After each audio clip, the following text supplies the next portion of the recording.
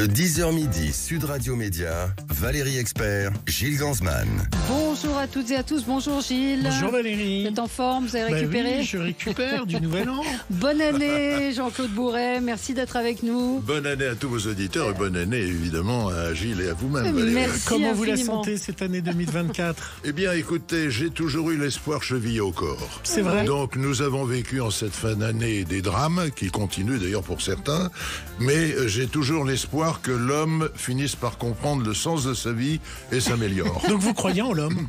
Je crois en moi-même. Alors vous êtes là, on va parler avec vous de ce livre, La 5, l'histoire secrète, les révélations chocs de Jean-Claude Bourret chez Guy Trédaniel, euh, que vous avez euh, coécrit avec l'aide de Bérangère Danigo qui a fait un boulot de recherche Énorme. absolument incroyable. Moi je je l'aurais pas appelé comme ça parce que c'est réducteur par rapport à tout ce qu'il y a dans le livre. C'est l'histoire de la 5, mais c'est l'histoire du bouleversement de la télévision. C'est ça qui est extraordinaire. Moi, je me suis régalée en le lisant parce que c'est à la fois une histoire politique de l'information, de la télévision, des programmes. C'est l'arrivée de la, enfin, la télé en couleur, ça arrive un petit peu avant, mais vous, vous l'avez vu arriver. On va reparler de, de tout ça dans un instant, mais Gilles nous a concocté un, un petit zapping. Sud Radio Média, l'instant zapping. Valérie, on connaissait les jobs d'été. Voici un job de l'hiver qui rapporte, vous allez voir, il rapporte même beaucoup. Est-ce que vous saviez que le Père Noël en Chine était français? Ils ont fait appel à un Français, un Père Noël qui vient de Gérardmer. Et vous allez voir, son histoire est incroyable. En temps normal, ce Père Noël habite euh, dans les Vosges, à Gérardmer plus précisément. Et ça fait euh, un petit moment qu'il se rend euh, en Chine, depuis quasiment une dizaine d'années maintenant. Et il m'a expliqué qu'en Chine, le Père Noël était vu comme une figure religieuse, une figure sacrée. Sur place, il bénéficie d'un traitement exceptionnel, écoutez. une garde du corps, deux un attaché de communication, deux interprètes. Les gens n'avaient pas le droit de m'approcher, sauf dans ma maison de Père Noël dans l'hôtel, où là il y a un service de sécurité. Je me suis retrouvé des fois dans des situations où le monde voulait me toucher, voulait me voir, voulait me prendre en photo.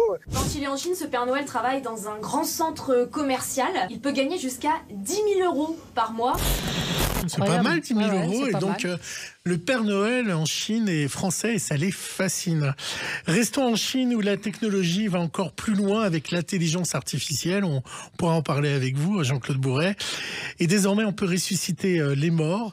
Vous allez voir que euh, ce Chinois qui a inventé ce système dialogue avec sa maman en arrivant au bureau, avec son image, comme si elle était encore en vie. Mais est-ce vraiment un progrès?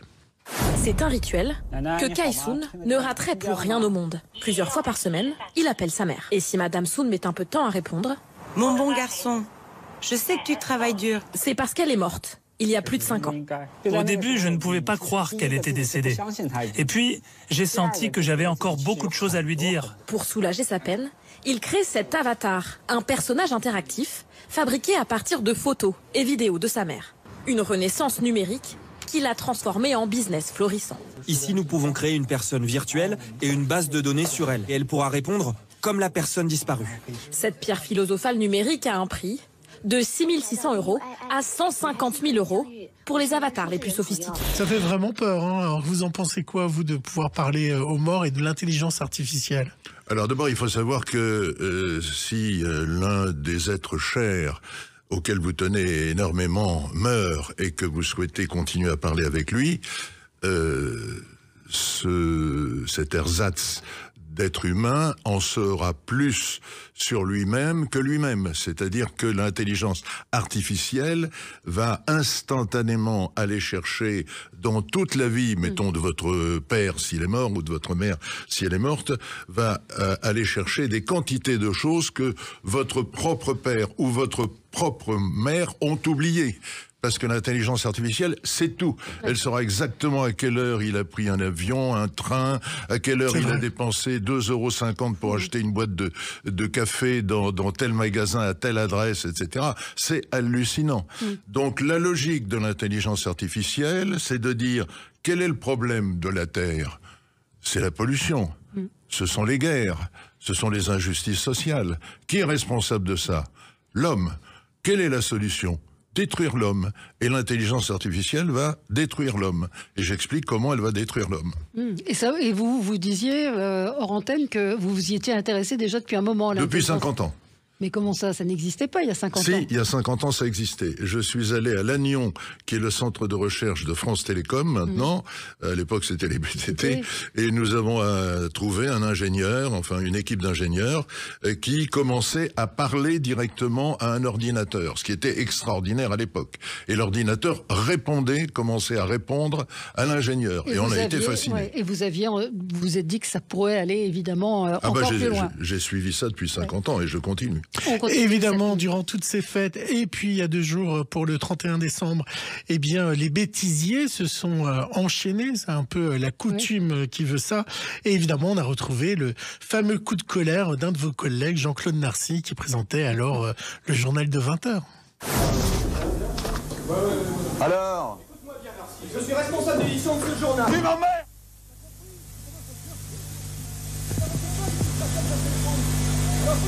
Merde Laissez-moi travailler J'en ai plein le cul de vous On travaille à plusieurs. Tu m'emmerdes On travaille à plusieurs. Je t'en prie C'est pas monter, hein Écoute-moi bien, Jean. Tu me fais chier Je viens te dire que je viens te Va dire que c'est ok. chef, m'emmerde pas Je viens te dire que c'est ok. Comment ça m'emmerder, hein Bon, ton- re- euh, vérifiez le micro. Vérifiez le micro. C'est le long quotidien de violence et ça dure depuis plusieurs semaines.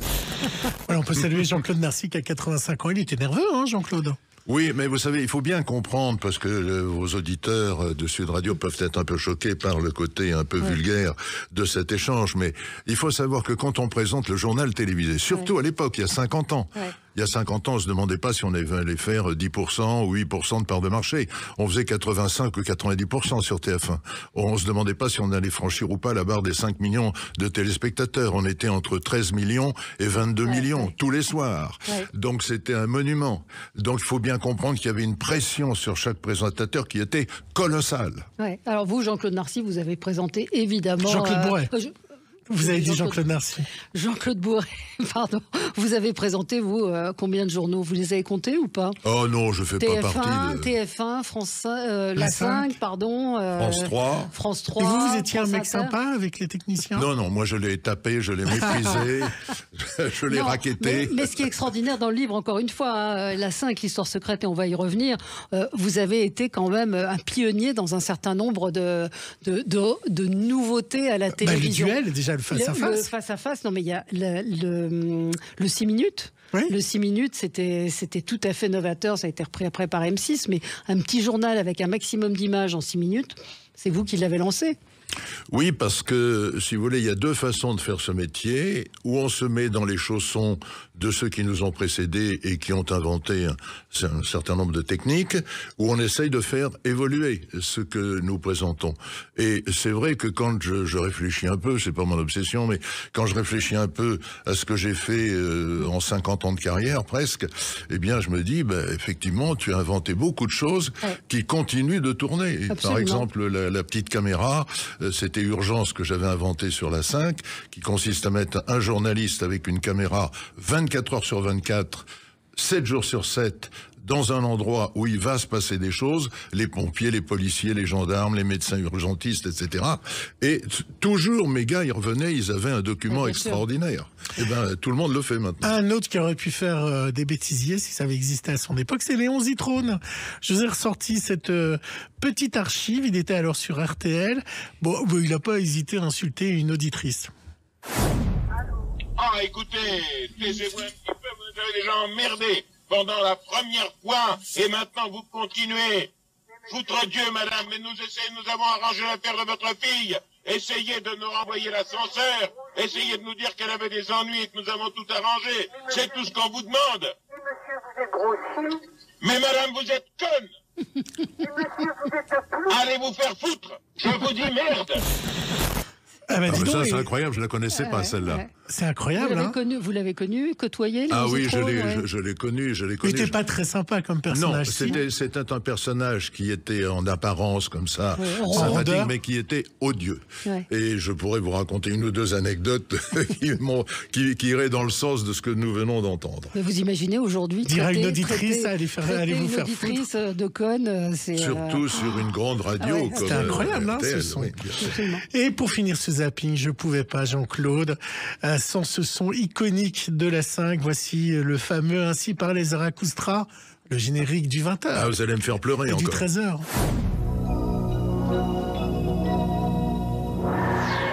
Avec Seiko, votre rendez-vous avec l'info.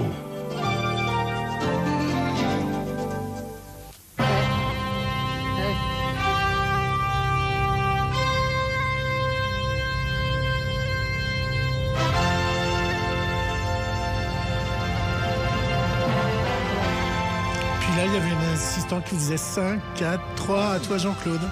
Ça vous émeut Oui. ou pas toujours d'entendre cette Euh, musique ça m'émeut, ouais, vraiment je suis ému parce que euh, dans ma vie j'ai eu le grand privilège de d'être le premier personnage à apparaître sur une chaîne de télévision. Absolument. 1er janvier 1973, France 3, depuis le studio 135 de la Maison de la Radio, qu'on avait transformé en petit studio télé.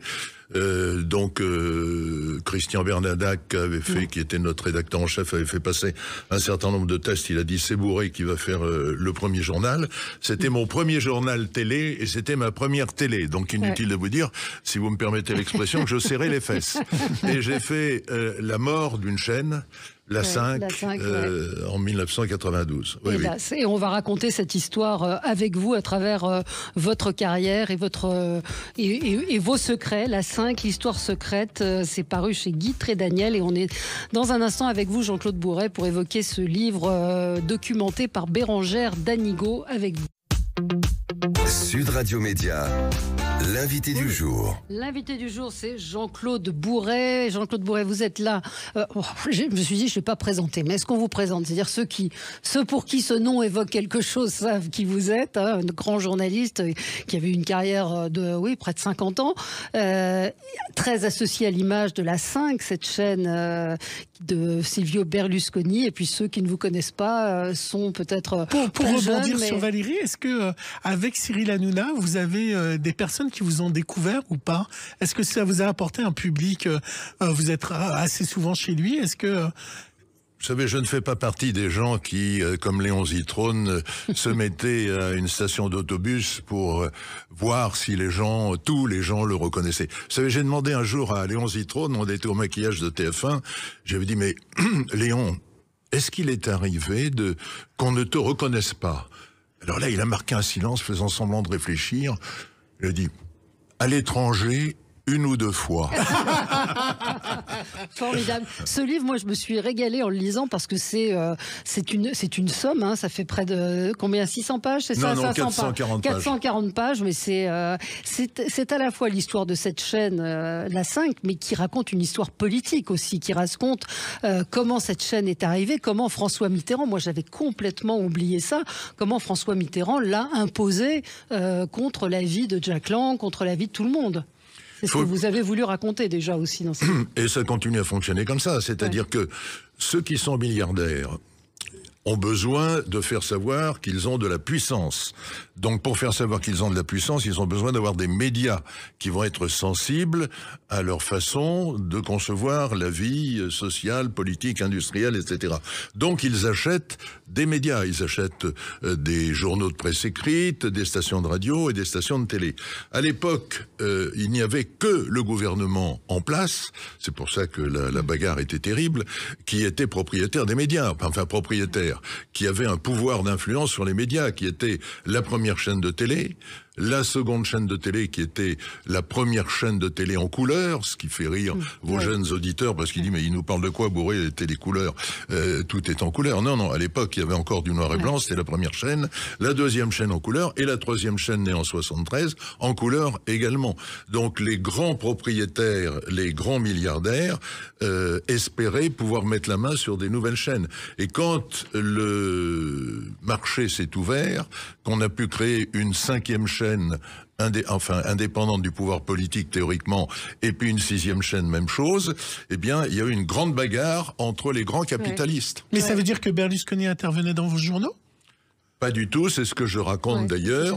que- Donc vous étiez libre. Donc les grands milliardaires, finalement, ils s'achètent une chaîne euh, pour avoir du pouvoir, mais ils laissent une certaine liberté dans votre exemple. Oui, euh, tout à- euh, réflexion tout à fait pertinente, sauf que je raconte dans le livre, connaissant à l'époque déjà bien la façon dont fonctionnait le monde médiatique, quand j'ai été reçu par Berlusconi et par Hersan euh, dans le bureau de Berlusconi aux Champs-Élysées, j'ai dit à Ersan qui avait la main, puisque euh, la, la cinquième chaîne avait été créée euh, avec l'appui de Mitterrand, parce que on disait que Berlusconi était à gauche, ce qui fait rire tout le monde, et que euh, si la droite prenait le pouvoir, ce qui a été le cas, une eh ben, la gauche euh, aurait au, au- au moins une chaîne qui serait la 5 avec Berlusconi.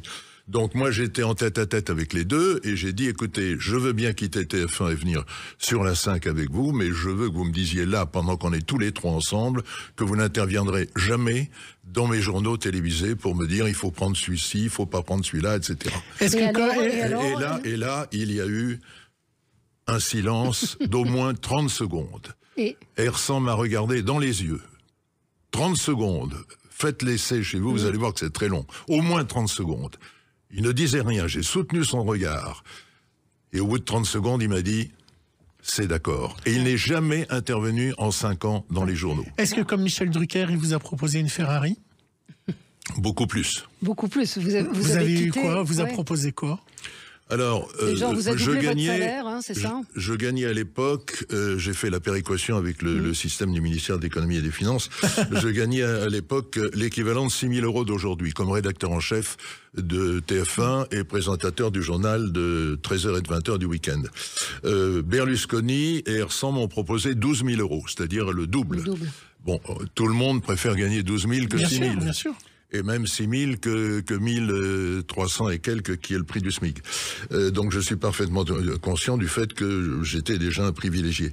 Mais quand euh, Bouygues, qui était mon patron, puisqu'il venait de racheter TF1, a appris que j'allais partir sur euh, la 5, que j'avais des contacts avec Berlusconi, il m'a fait venir et il m'a proposé 110 000 euros par mois. Vous entendez bien Plus une voiture avec un chauffeur 7 jours sur 7, ce qui correspond euh, à plus de 10 000 euros par mois, euh, plus une carte de crédit avec des frais illimités. Alors ça, Mais ça m'est resté. Parce que quand un patron vous dit, tiens... Euh, une carte de crédit et je vous donne veux. une carte de crédit avec des frais limités. J'avais dire, mais ça veut dire quoi des frais limités Il me dit, vous pouvez dépenser 1000 euros par jour si vous voulez. Donc c'était l'équivalent de 150 000 euros par mois. Et j'ai dit non et je suis parti pour 12 fois moins sur la 5. Et pourquoi? Parce qu'il y avait cette, euh, Parce cette que aventure. L'argent- euh, ne m'intéresse pas. Enfin, euh, je, je, je reformule. L'argent n'est pas ma motivation première, loin de là, et j'en ai fait la démonstration. Ouais, alors on, on parlait de la liberté. Vous avez été viré euh, à l'époque euh, par le- à cause du pouvoir. Enfin, c'est le pouvoir qui est intervenu parce que c'était la manif pour tous. Cette histoire est assez extraordinaire où bah, ils, avaient, ils avaient essayé de verrouiller un petit peu le nombre de manifestants. Et vous, vous avez fait votre boulot de journaliste. Et racontez-nous un petit peu ce qui vous a valu cette, euh, cette éviction.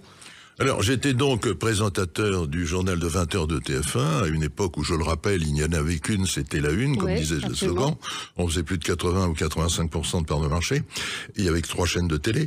Et donc, euh, euh, il y a eu la manifestation euh, de soutien à l'école libre, puisque le pouvoir socialiste voulait casser l'école libre, qui était une école confessionnelle, et le pouvoir socialiste, dans euh, sa façon de voir le fonctionnement de la société, estimait que c'était tout à fait anormal de faire élever des enfants par euh, une confession, quelle qu'elle soit, et notamment une confession catholique. Donc, euh, il y a eu un, un certain nombre de manifestations qui ont précédé la grande manifestation finale de Paris. Euh, Il y avait eu Versailles, où il y avait eu 500 000 manifestants. Et euh, donc, tout le monde se demandait, Paris, ça va, ça va donner Est-ce que ça quoi va cartonner? Alors, moi, je présentais le journal de 20 heures ce fameux dimanche. Je crois que c'était en 1983. Et euh, je me rends compte à 19h30 que le ministère de l'Intérieur n'a toujours donné aucune estimation. Donc, je téléphone à Gaston Defer, qui était le ministre de l'Intérieur, qui me dit, écoutez, euh, je vous passe euh, ma directrice de la communication parce que je suis en pleine réunion, excusez-moi. Donc, il me passe la directrice de la communication et qui me dit, on ne donnera pas d'estimation. J'ai dit, quoi? Vous ne donnerez pas d'estimation. Vous vous rendez compte que les organisateurs vont dire dans un quart d'heure avant le journal de 20 heures euh, qu'il y a peut-être 2 millions ou 3 millions de manifestants. Et moi, je vais dire, et pour la première fois, le ministère de l'Intérieur a refusé de donner toute estimation, ce qui va crédibiliser l'estimation des organisateurs. On me dit, oh bon sang, on n'avait pas pensé à ça. Et donc, elle me dit, je vous téléphone tout de suite. Cinq minutes après, donc il était 8h moins 20, elle me dit 800 000 au moins, euh, je vais dire, ça veut dire quoi au moins? Il y aura peut-être encore 40 ou 50 000 de plus, mais 800 000 au moins. Alors je dis deuxième question tout de suite. Vous avez 10 minutes pour me répondre. Depuis combien de temps il n'y a pas eu une manifestation avec 800 000 personnes selon la préfecture de police à Paris? Elle m'a dit oh vous et vos questions. Elle me téléphone 5 5 minutes après, donc il était 8 h moins 10 à peu près. J'étais à 10 minutes dans l'antenne, donc on est très stressé. Elle me dit depuis la libération. Et je commence le journal télévisé en disant Madame, mademoiselle, monsieur, bonsoir. Paris a vécu aujourd'hui sa plus grande manifestation depuis la libération, avec 800 000 personnes, selon le ministère de l'Intérieur, euh, qui ont défilé dans les rues de Paris, et 2 millions selon les organisateurs, etc. François Mitterrand, le président, regardait mon journal, il y en avait pratiquement qu'un à l'époque, Ouais. pour voir un peu comment on allait rendre compte de cette journée qui était importante pour la gauche, et euh, il m'entend dire ça. Et il se retourne vers ses collaborateurs, on me l'a raconté par la suite, euh, en disant mais qu'est- qu'est-ce qu'il raconte Bourré? Il n'y a, rien dans les dépêches, ils avaient verrouillé l'agence France Presse, ils avaient tout verrouillé. Et sur France 2, d'ailleurs, ils avaient annoncé 5 500 000 au lieu de 800 000. 300 000 de, de moins qui avaient disparu comme ça. Mais parce que c'était une, télévision de- de- d'État aussi. Et donc, euh, je me suis convoqué à la fin du journal. Euh, J'ai même pas à lever mes fesses de mon siège que le haut-parleur euh, grésille en disant bourré dans le bureau de, euh, de Danvers, qui était mon nouveau Ah directeur. Et je vais le voir et il me dit mais qu'est-ce que tu as raconté? Mais j'ai dit comment ça qu'est-ce que j'ai raconté 800 000 euh, la plus grande manifestation depuis la libération ce n'est pas dans les dépêches. Je dis oui mais ce qui différencie un fils de député socialiste Oui. militant de gauche Alors, comme toi ouais. parce que moi j'aime bien Danvers c'était un, un bon copain mais c'était sans que ce soit méprisable de ma part un petit journaliste un petit reporter il est passé du, Ouais. du, du grade de petit reporter au grade de directeur de l'information parce qu'il était à gauche et qu'on avait des certitudes qu'il était à gauche. Son père était député socialiste.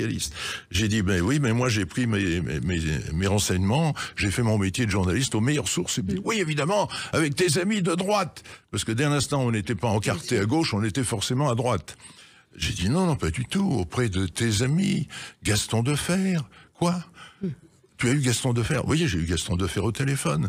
Ah bon, ah bon? Et là, j'ai vu qu'il s'effondrait un peu parce qu'il venait de se faire salement engueuler Ouais. par un conseiller du président Mitterrand. Et, et, y a- a Et là, on m'a viré. Et ça a fait scandale ou pas à l'époque? Oui, ça oui, il y a, y eu la, retentissement la- la presse, la presse évidemment s'en est emparée et, et- et puis a raconté euh, un petit peu l'histoire. Ouais. Et, et comme ils m'ont viré du 20h, mais qu'ils pouvaient pas dire on vire bourré du 20h parce qu'il a fait son métier de journaliste, ils, m'ont convoqué pour me dire on va te donner un truc formidable, tu vas créer la première télévision du matin, mais on t'enlève du 20h. Ouais. Et ils pensaient que la télévision du matin, que j'ai créée d'ailleurs en 84, euh, ne marcherait pas. Et puis on, euh, ça, a, très bien marché. C'était Bonjour la France. Voilà, C'était Bonjour la France, oui, Et c'est comme ça que Berlusconi, C'est comme ça que vous, Berlusconi a, vous oui. repéré. Et on va en reparler dans un Et instant. oui, parce qu'avant, euh, Valérie, qu'était- qu'est-ce que c'était la révolution de la 5 bah, C'était les programmes coupés par la pub. Absolument, c'est la- l'apparition de la pub.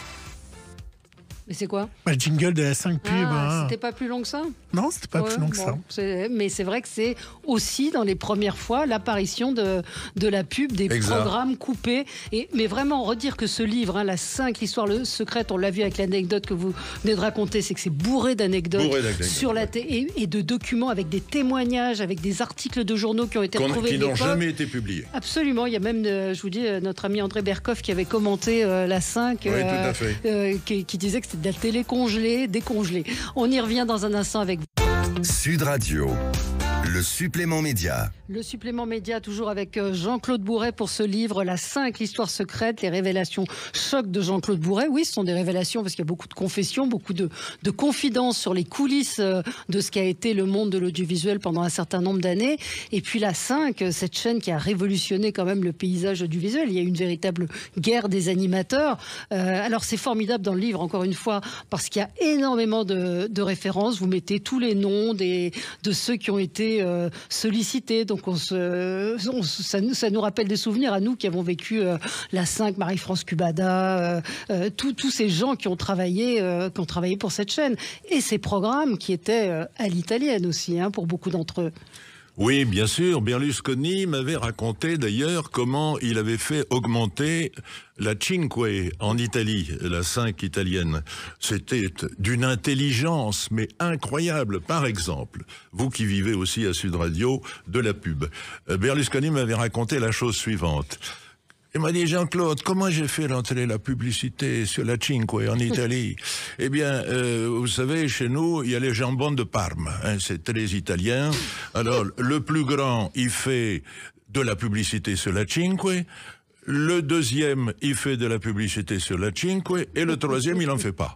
Alors, mes gars sont allés voir le président du euh, jambon de Parme, classé numéro 3 des ventes, et lui a dit, il faut faire de la publicité sur la Cinque. Non, non, ça marche très bien, fais pas de la publicité sur la 5. Bon, alors, qu'est-ce qu'on a fait, nous?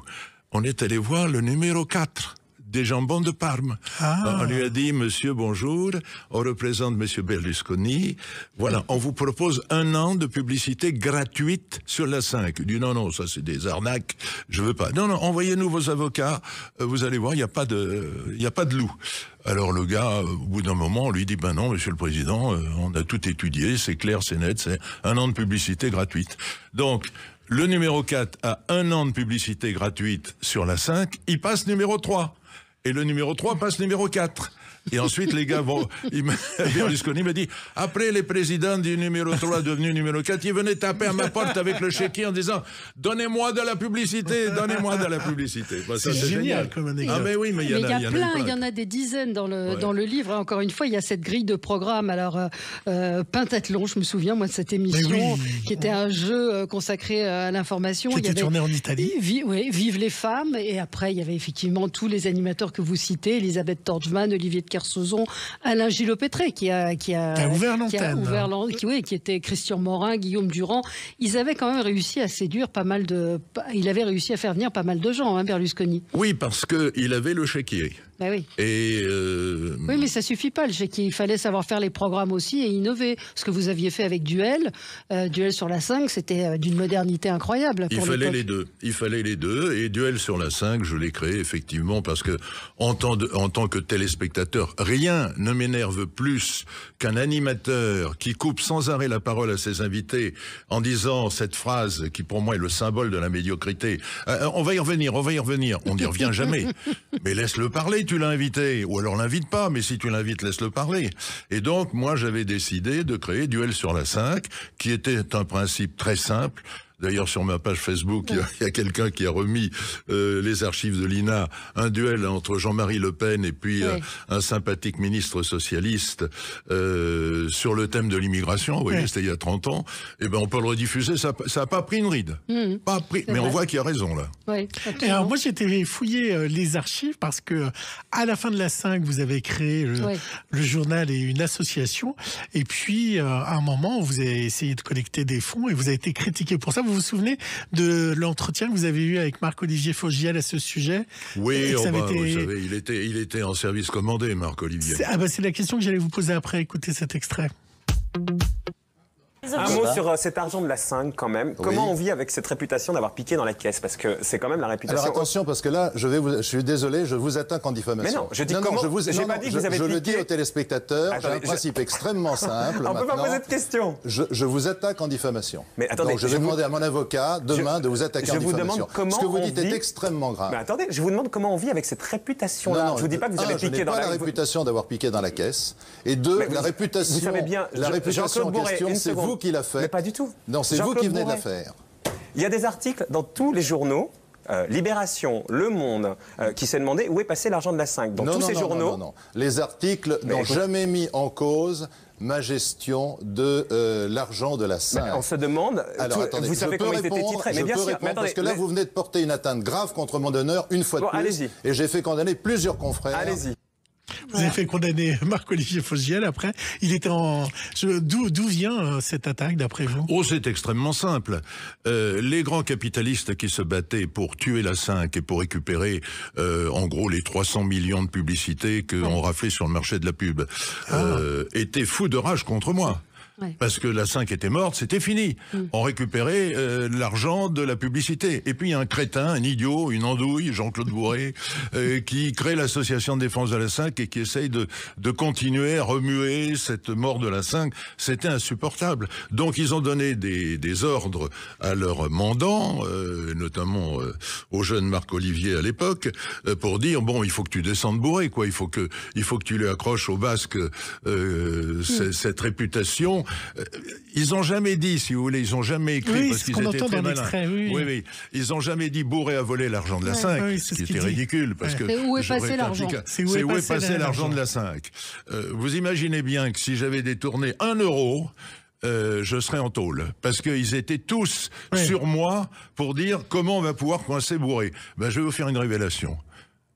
L'argent de la 5, ou plutôt ce qui restait de l'argent de l'association de défense de la 5, on avait à peu près l'équivalent d'un million d'euros en 1992, et puis l'année suivante, euh, c'est tombé à euh, 20 ou 22 000 euros parce que les gens ont compris que c'était fini, ils n'ont pas euh, ré- Relevé. réactualisé leur, leur cotisation, qui était l'équivalent de 8 euros par an quand même, il faut le savoir. Ouais. C'était une petite carte d'invitation. Eh bien, cet argent, je l'ai laissé parce que pour moi, il est sacré sur le compte de l'association de défense de la 5, qui existe toujours. Ah bon Et oui, et où il y a euh, un peu plus de 30 000 euros qui n'ont pas bougé depuis 30 ans. Donc vous voyez que le voleur bourré, euh, il a les preuves qu'il est d'une honnêteté absolument scrupuleuse. Mais vous disiez un million d'euros, comment d'un million, on passe à 30 000 euh, Oh ben c'est très simple, on, on diffusait un million d'exemplaires euh, tous les mois Du notre journal, journal, et vous savez que diffuser un sûr, journal, ce n'est pas gratuit.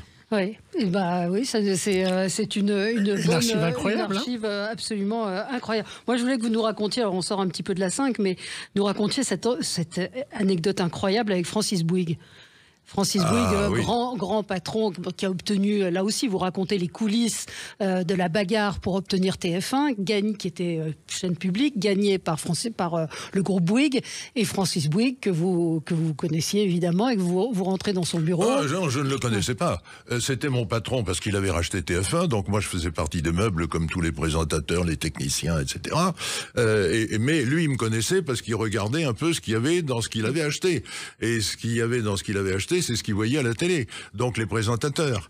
Et donc il me convoque dans son grand bureau, euh, dans les anciens locaux. Challenger, ouais. Non, non, euh, c'était les anciens C'était locaux. avant, c'était Ouais. avant Challenger. Il était en train de construire Challenger. Il avait un très grand bureau et il avait d'ailleurs euh, un un chef-d'œuvre de Compagnons du Devoir qui était une une, une architecture Mm. de cathédrale qui était merveilleusement faite au milieu de son bureau. Et il m'a parlé, je l'ai vu d'ailleurs, euh, et il me l'a dit deux ou trois fois avec beaucoup d'affection, Mm. parce qu'il me disait, vous êtes un homme du peuple comme moi, Mm. Euh, vous avez les pieds euh, sur terre.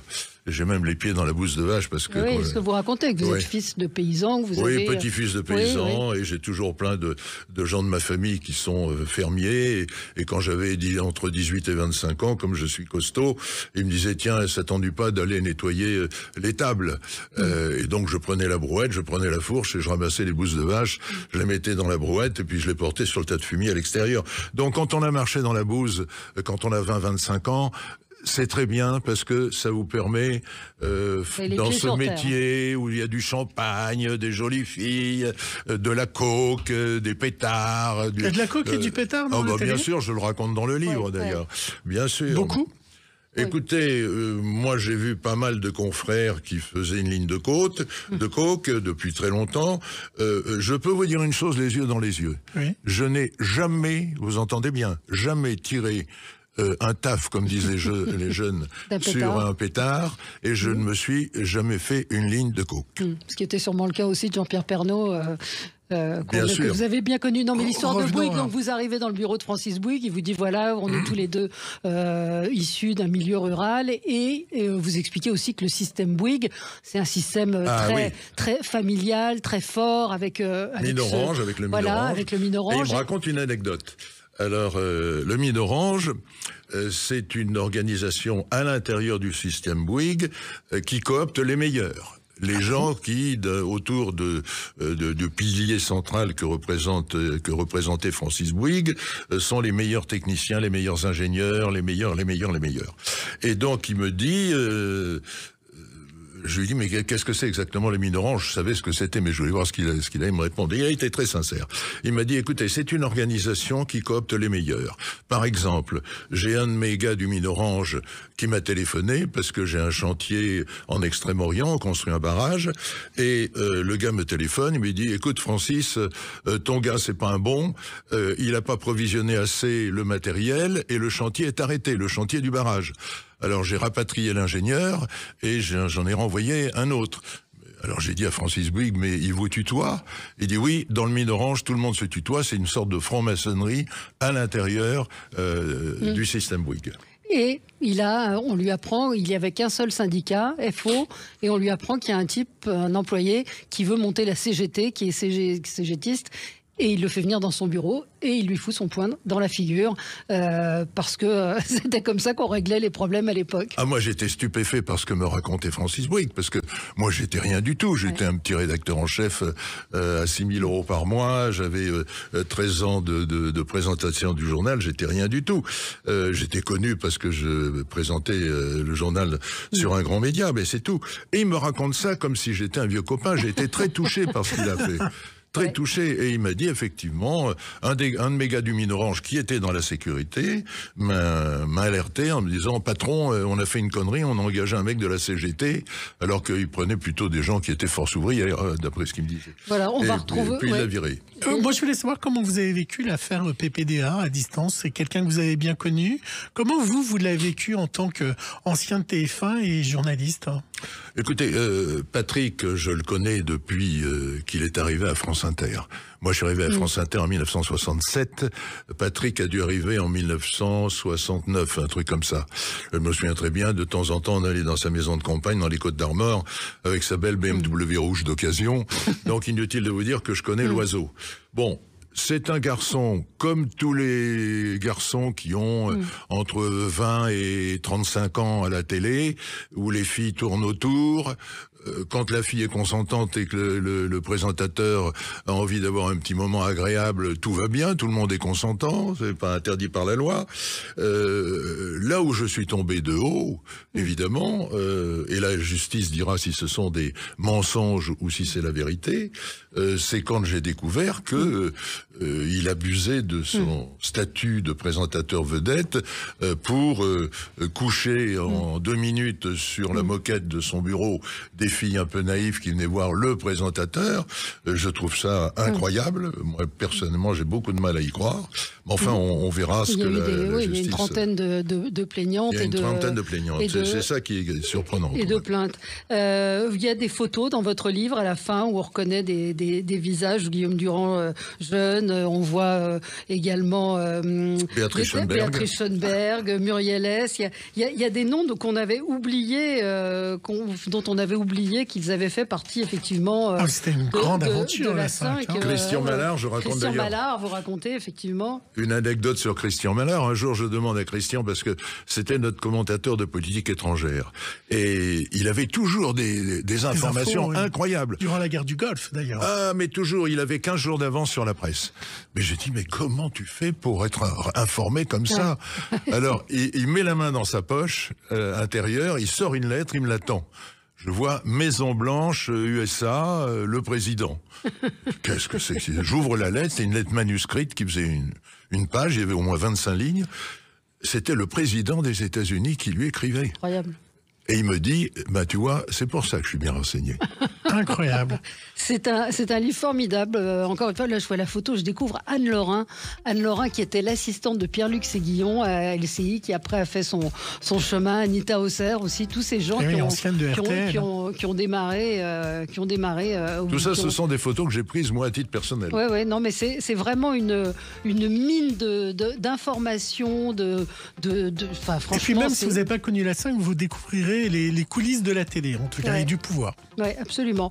Jean-Claude Bourret, Bérangère Danigo, qu'on peut euh, féliciter Ah oui, fait un pour le travail travail d'enquête euh, Formidable. Bérangère Danigo. La 5 Histoire secrète, euh, c'est paru chez Guy Daniel. Merci Jean-Claude Bourret. Dans un instant, euh, ce sont les débats d'actualité. À tout de suite.